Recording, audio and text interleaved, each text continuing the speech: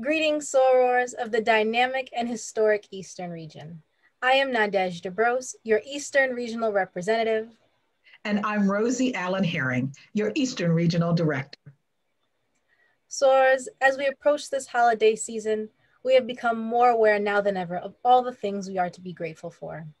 And sorors, I have to share, I am so thankful for my family, my friends, and all of you sorors. I am so grateful, so appreciative, and so proud of all the work you have done in our region. Um, you have done such phenomenal work.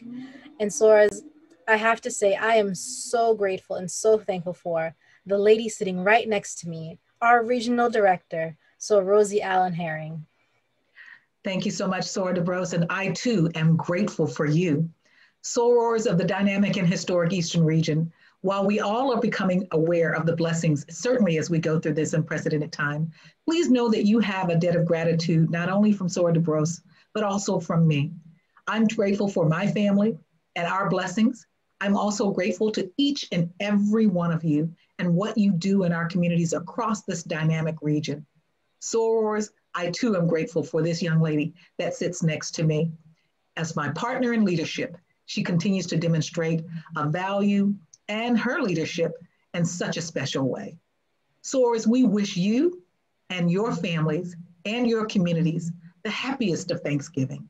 And we also look forward to the work that we will do together as we continue to elevate our legacy, our impact, and our sisterhood. Happy Thanksgiving, Sorors.